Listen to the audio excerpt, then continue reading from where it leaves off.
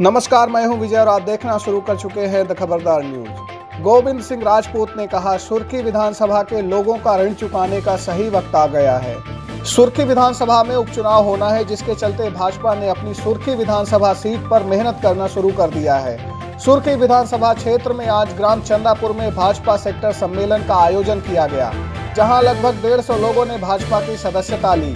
वहीं ग्राम जिला में भाजपा सेक्टर सम्मेलन का आयोजन किया गया, जिसमें लगभग 200 लोगों ने भाजपा की सदस्यता ली। साथ ही मंत्री गोविंद राजपूत ने एक करोड़ के विकास कार्यों का भूमि पूजन किया। इसके साथ ही लगभग डेढ़ करोड़ के विकास कार्य स्वीकृत किए। मंत्री गोविंद सिंह राजपूत ने जनता को संबोधित करते हुए कहा कि मैं शान से कह रहा हूँ कि मैं भारतीय जनता पार्टी में शामिल हो गया हूँ। मुझे गर्व है कि मैं ऐसी पार्टी में शामिल हुआ हूँ जो गरीबों की पार्टी है। मैं उस पार्टी में शामिल हुआ हूँ जो विकास करने वालों की पार्टी है। मैं उस पार्टी में शामिल हुआ हूँ जो प्रधानमंत्री नरेंद्र मोदी की पार्टी है। मैं उस पार्टी में शामिल हुआ हूँ जो मामा शिवराज सिंह चौहान की पार्टी है। मैं उस भारतीय जनता पार्टी में शामिल हुआ हूँ जिसका एक एक कार्यकर्ता राम भक्त है। इसके साथ ही उन्होंने कहा कि जो राम मंदिर चार सौ पंचानवे सालों में भी नहीं बन पाया, वहीं प्रधानमंत्री नरेंद्र मोदी की अगुवाई में अब राम मंदिर का निर्माण हो रहा है। मुझे गर्व है कि मैं भारतीय जनता पार्टी में शामिल हुआ हूँ। इस कार्यक्रम में मुख्य अतिथि के रूप में पूर्व मंत्री रामकृष्ण कुसमरिया, सुधीर यादव एवं भारतीय जनता पार्टी जिला अध्यक्ष गौरव सिरोठिया लोकसभा सांसद राज बहादुर सिंह, पूर्व नगर अध्यक्ष पप्पू तिवारी एवं उनके नेता व कार्यकर्ता उपस्थित रहे। राहतगढ़ से सलमान कुरैशी की रिपोर्ट। बने रहिए द खबरदार न्यूज़ के साथ। नमस्कार।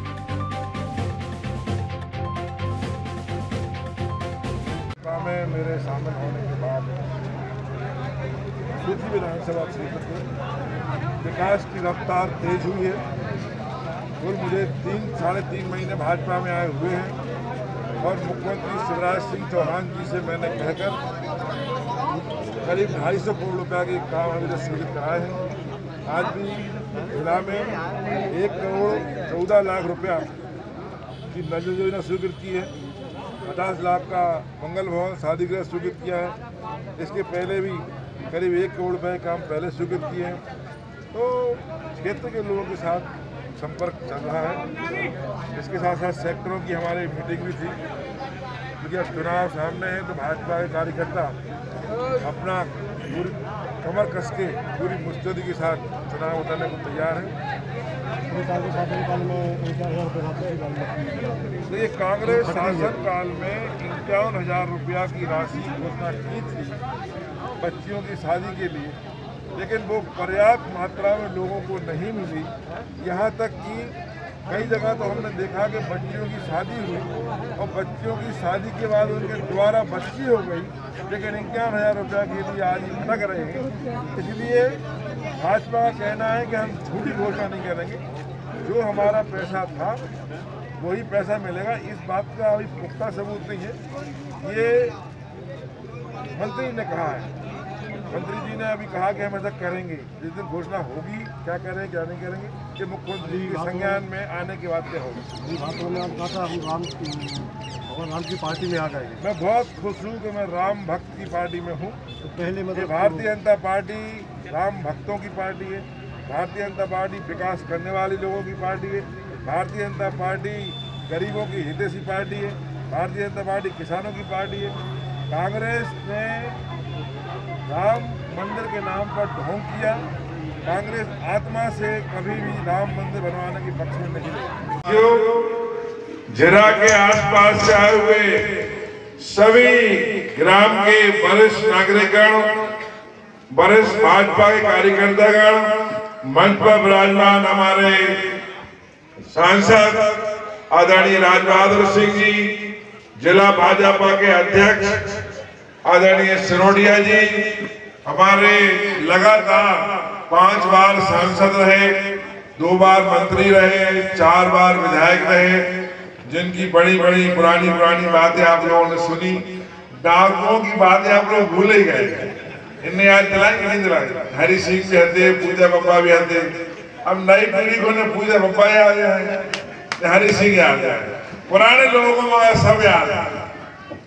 तो उन्होंने अपने अच्छे अनुभव सुनाए। पार्टी ने ये कहा कि पचहत्तर साल के हो गए तुम्हें टिकट नहीं दे रहे।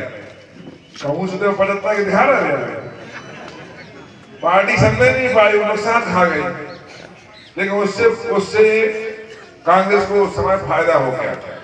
लेकिन हम लोग फिर कुशमंगल जी को सम्मान सहित भाजपा में वापस लाए। भारत माता की बोलो भारतीय जनता पार्टी जिंदाबाद। थोड़ा आवाज़ लगाना पड़ेगी। भारतीय जनता पार्टी जिंदाबाद। सभी चंद्रापुर ग्राम के भारतीय जनता पार्टी के सभी कार्यकर्ता बंधुओं, हमारे आसपास के ग्रामों से पधारे हमारे सेक्टर के राजमान आपके अपने क्षेत्र के नाल में विधायक मध्य प्रदेश सरकार में मंत्री के रूप में काम कर रहे और जो भारतीय जनता पार्टी के प्रत्याशी के रूप में हम सबके बीच में है ऐसे परम आदरणीय गोविंद राजपूत जी, पूरे ज़िले की कि भारतीय जनता पार्टी ने जो है हमारे सामने जो उपचुनाव सुरखी विधानसभा क्षेत्र का है, और भारतीय जनता पार्टी के निश्चित रूप से प्रत्याशी के तौर पर हम सभी के बीच में गोविंद सिंह जी, राजपूत जी ही है। ये हम सभी को जानकारी भी है और हम सभी को पता भी है। इसलिए मैं आप सभी से कहना चाहता हूँ आपसे कोई चुनावी सभा नहीं है, कोई चुनावी भाषण नहीं है। ये आपके परिवार का और गोविंद सिंह जी राजपूत जी के परिवार का। ये चुनाव, इसलिए भी मैं नहीं मानता कि कोई बड़ा चुनाव या कठिन चुनाव है, क्योंकि मैंने देखा है पूरे सुर्खी विधानसभा क्षेत्र में परिवार की तरह आप सभी गोविंद सिंह जी राजपूत जी के परिवार को मानते हैं। एक एक घर, एक एक परिवार उनको अपने परिवार का सदस्य मानता है। ये कहने में मुझे कोई संकोच नहीं है कि आज इतनी बड़ी संख्या में आज यहाँ जो कार्यकर्ता और आमजन उपस्थित है कि निश्चित रूप से चंद्रापुर सेक्टर से पूरी विधानसभा क्षेत्र में ये चंद्रापुर सेक्टर सबसे बड़ी जीत के साथ गोविंद सिंह राजपूत जी को यहाँ से छुटा के भेजेगा। ये भरोसा भारतीय जनता पार्टी को आप पर है।